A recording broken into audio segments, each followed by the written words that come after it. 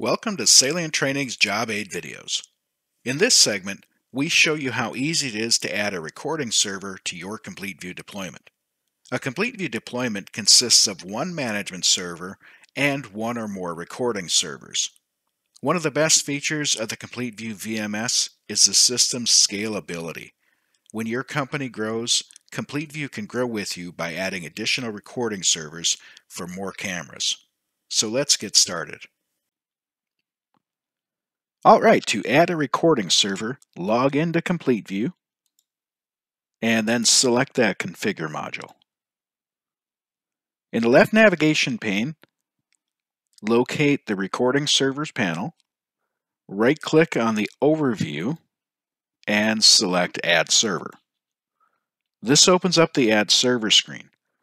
To add a server, we need to enter the connection information for the new recording server in the connection info panel. In the host box, enter the IP address or the fully qualified domain name of the recording server that you're adding. Leave the ports on the default settings, and you want to leave auto provision checked. Auto provision is a setting that applies your common settings to the new server and migrates the users from the recording server without overwriting passwords on your management server. And enter in the username admin now, if this is a brand new server that's never been configured, just select connect right now, leave the password blank. If this is a server that's already been configured or been at a previous deployment, enter in the admin password for that recording server and then select connect. If everything's successful, you'll see all the info screens for your recording server, including the connection info, the server info screen, the configuration history, your licensing info section where you'll find your product ID, and where you can add feature keys to unlock version upgrades and add camera licenses. We have another job aid video that shows you all the steps on how to do that, and you'll find the link to that video in the comments section below. Next, we're going to change the friendly name of the recording server.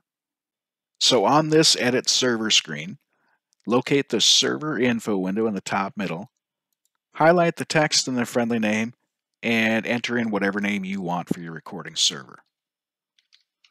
Once you've got a name entered in, go ahead and select the Save button up here to save that configuration. And you'll see the updated name in your server list. And that's all there is to adding a recording server to your deployment.